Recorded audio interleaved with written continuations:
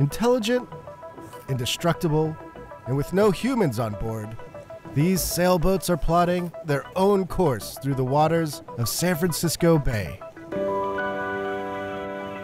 If this guy gets his way, soon there will be hundreds of them, trawling the oceans for data.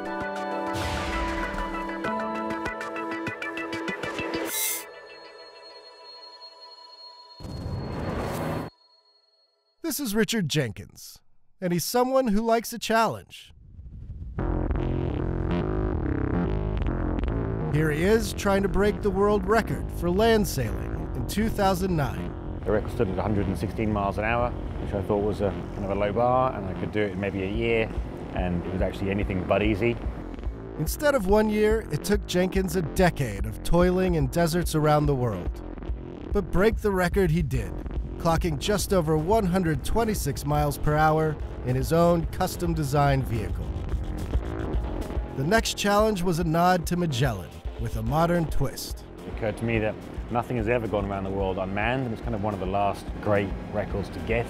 So Jenkins set out to build a robotic sailboat capable of circumnavigating the globe. In 2013, he sent the world's first unmanned vessel across an ocean, going from San Francisco to Hawaii.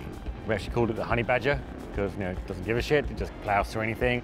And somewhere, amidst all that, he found time to start a new business.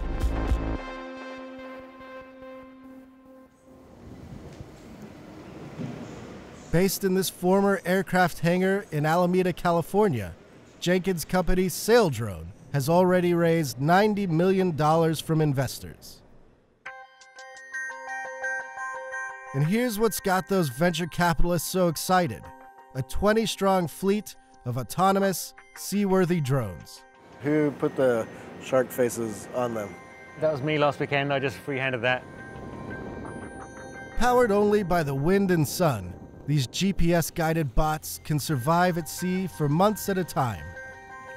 Bristling with sensors, scientific equipment, and cameras, they beam back real time data and images via satellite from the ocean surface. These two vehicles are on their way back from a seven, almost eight month voyage, Okay. roughly 10,000 miles, Where did they go? down to the Equatorial Pacific, um, studying El Nino effects on the equator. Right. Do you want to know what it looks like? Is this the camera view? Yeah, or- this is okay. a real-time camera view, and there it is. That's a picture from Equatorial Pacific right Nice now. Nice and sunny.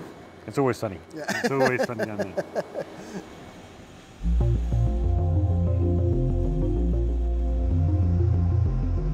Right now, Saildrone is busy prepping for a new mission a 2,000 mile round trip to an area of Pacific Ocean known as the White Shark Cafe.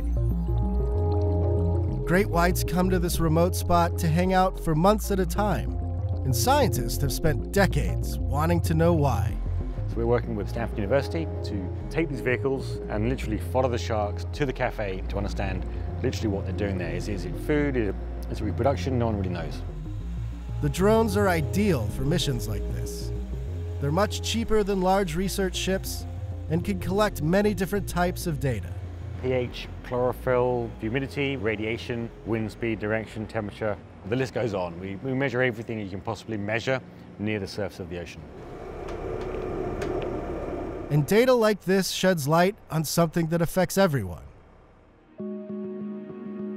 the weather. There really is infinite use for more accurate weather and climate data. So the big focus for us this year is deploying drones into the hurricane field to actually find out how strong they're going to be and where they're going to land. And the impacts of that information is huge. So for insurance risk, financial markets, and then for people's safety. On an unmanned craft, hurricane force winds would shred a conventional sail. So instead, the drones harness the wind using the hard vertical wing adapted from Jenkins' land sailing days. When wind passes over an airplane wing, it produces lift. In this case, the wind produces thrust that moves the sail drone forward. Jenkins invented a tail with a small adjustable tab to control this force. It stops the wing from spinning out of control and lets the robot make snap sailing decisions. Everything about the craft is 100% saltwater proof and submersible.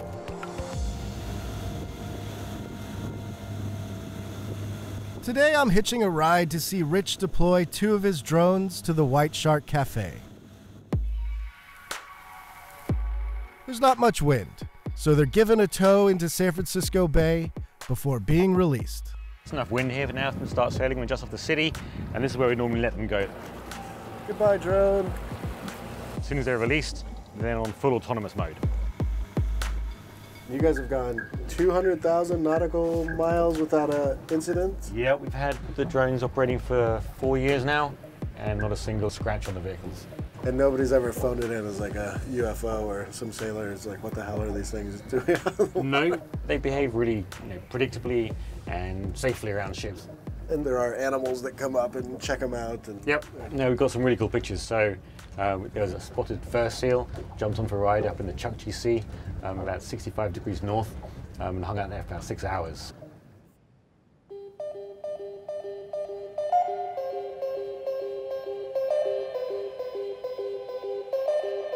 These drones have a two week journey ahead of them before they make their shark rendezvous. And soon, they'll be part of an even bigger fleet. We want to get a thousand drones within three to four years. And that gives us full global coverage, so we have as much or better data from the oceans that we currently have from the land, and that will transform our understanding of our planet.